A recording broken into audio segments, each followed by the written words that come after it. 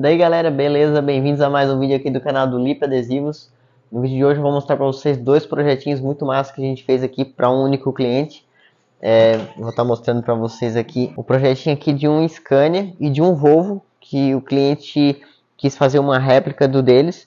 A gente fez aqui, tentou seguir o máximo de detalhes possível usando o que a gente tinha aqui, né? Então vou mostrar para vocês quais os projetinhos e depois eu mostro para vocês as miniaturas, beleza? Ó, se liga, o primeiro projeto seria esse Volvo FH com o Sider e o segundo projeto seria esse Scania aqui também no Sider.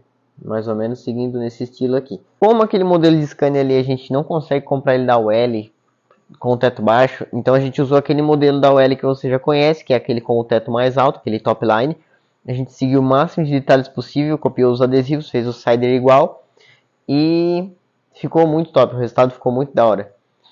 O Volvo, principalmente, que ficou muito mais parecido com o de verdade deles lá, então ficou muito top. Então, essas são as duas miniaturas. O FH eu vou botar agora na frente da tela ali para vocês já ver como é que ficou. Comparando um com o outro, ficou muito massa. Ó, se liga nos detalhes. Aqui é o do cliente e aqui é a miniatura, a réplica. ficou muito da hora.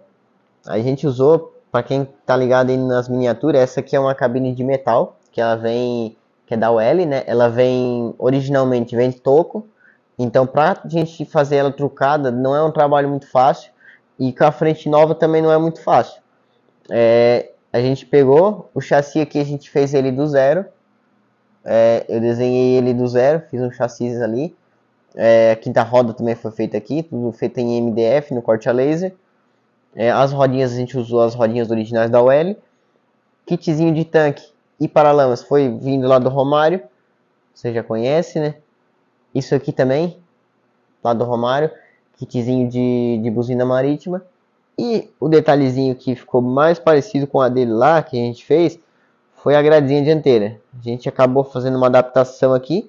A gente usou a mesma grade que já tinha, pintou ela de preto fosco, a grade original mais antiga, e fez uma adesivagem aqui, ó, mostrando um formato como se fosse do modelo mais novo. Ó. Ficou muito parecido, porque a atualização no caminhão de verdade pra, de uma para outra é bem pouca diferença, né? Usa a mesma plataforma. Então, nisso já ficou bem parecido. Aqui embaixo a gente fez também aquele detalhezinho para aparecer aquela grade ali, ó. E ficou muito top. No quebra-sol também deu para fazer isso. A gente pintou o quebra-sol inteiro de preto e fez aquele detalhezinho seguindo aquele detalhezinho lá de cima, ó. E acabou ficando muito da hora. E o restante do Cider a gente também fez todo copiando o do cliente. É, na verdade a gente fez copiando outro modelo do Cider, ele tem dois. É, na verdade ele tem mais, né? Mas o que ele me mandou, que está cangado no caminhão amarelo, tem essa imagem aqui da Nossa Senhora Aparecida na frente. Então a gente fez os dois Cider, ele pediu, né? Pra gente fazer os dois Cider desse jeito. Então, ficou mais ou menos assim e ficou muito top. Olha como ficou legal o modelinho aqui, como ficou top. E aqui o Cider, né, a gente fez também, como vocês já estão ligados, a gente faz os nossos baús adesivados. A gente adesivou de preto fosco para imitar a lona do Cider, que é fosca também.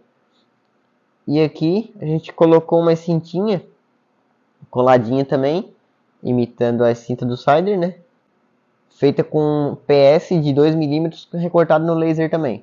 O PS a gente usou o material preto para não precisar pintar ele depois, né? Porque como é peça pequena, a gente vai pintar no spray e acaba voando. É, é bem difícil, então já optei por cortar no material preto. Agora eu vou virar aqui para mostrar a parte de trás. Até aqui em cima não dá para manobrar, mas não dá para manobrar assim, bem de boa. Ó. Mais detalhes, faquine.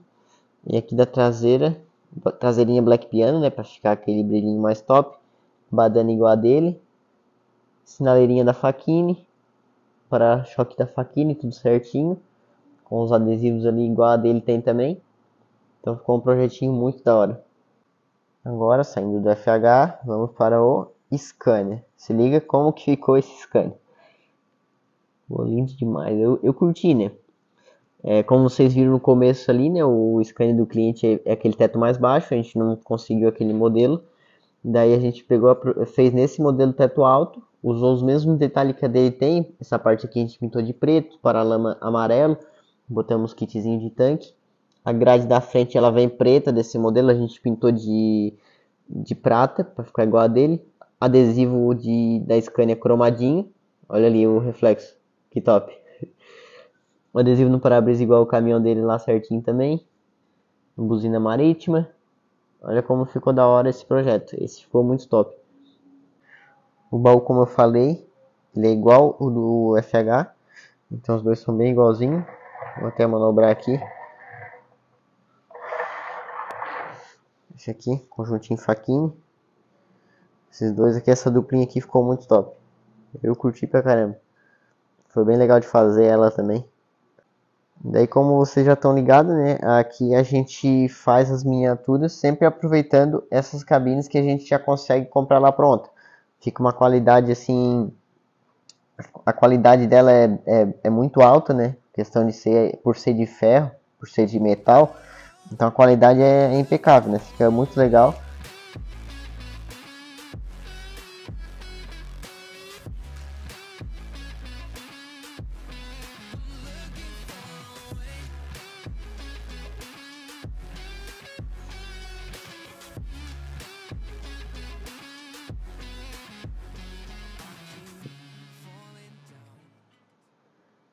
E é isso aí, galera. Esse foi mais um vídeo aqui do canal. Não se esqueça de se inscrever aqui no canal, deixa um like nesse vídeo.